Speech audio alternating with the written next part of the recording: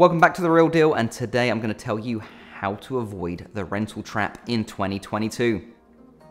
Are you one of the many renters thinking about where you'll live the next time your lease is up? Before you decide whether to look for a new house or another apartment, it's important to understand the true costs of renting in 2022. As a renter, you should know rents have been rising since 1988. In 2021, rents grew dramatically, according to apartmentlist.com. Since January 2021, quote, the national median rent has increased by staggering 17.8%. To put that in context, rent growth from January to November averaged just 2.6% in the pre pandemic years of 2017 to 2019. That increase in 2021 was far greater than the typical rent increases we've seen in recent years.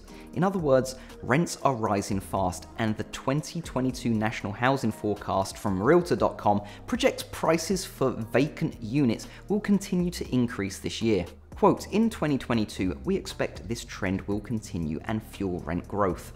At a national level, we forecast rent growth of 7.1% in the next 12 months somewhat ahead of home price growth. That means if you're planning to move into a different rental this year, you'll likely pay far more than you have in years past. Home ownership provides an alternative to rising rents. If you're a renter facing rising rental costs, you might wonder what alternatives you have. If so, consider home ownership.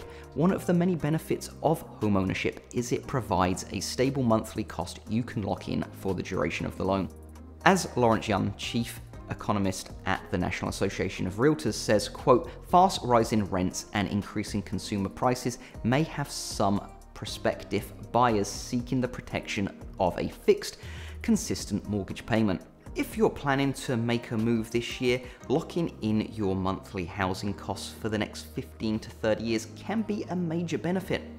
You'll avoid wondering if you'll need to adjust your budget to account for annual increases. Homeowners also enjoy the added benefit of home equity, which has grown substantially right now. In fact, the latest Homeowner Equity Insight report from CoreLogic shows the average homeowner gained a whopping $56,700 in equity over the last 12 months. As a renter, your payment only covers the cost of your dwelling. When you pay your mortgage, you grow your wealth through forced savings. That is your home equity. Ladies and gents, here's the bottom line. If you're thinking of renting this year, it's important to keep in mind the true costs you'll face.